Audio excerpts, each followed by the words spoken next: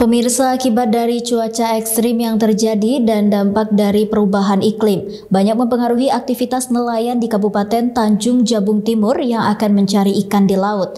Meski demikian, Kapolres menghimbau untuk tetap waspada dan melengkapi peralatan keselamatan.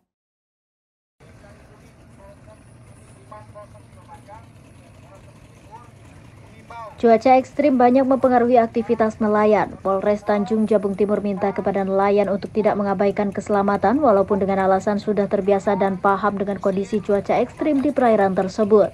Polres Tanjung Jabung Timur bersama Polsek Nipa Panjang dan Polsek Kuala Jambi terus memberikan himbauan agar para nelayan selalu waspada saat melaut. Begitu juga kapal yang akan membawa para wisatawan yang hendak berpergian ke Pulau Berhala untuk selalu waspada dan melengkapi peralatan keselamatan karena pada saat ini cuaca yang terjadi masuk kategori ekstrim.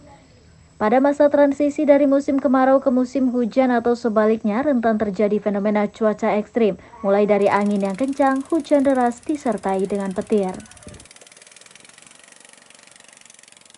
Terima kasih perlu saya sampaikan bahwa memang di bulan Januari sampai nanti diperkirakan di bulan Maret bahwa di wilayah Jambi menurut BMKG akan terjadi potensi hujan yang cukup tinggi sehingga mengakibatkan cuaca yang cukup ekstrim. Khususnya apabila ingin berwisata di Pulau Berhala, kami meminta berhati-hati, gunakan alat pelampung dan lain sebagainya sehingga mengurangi apabila terjadi kecelakaan.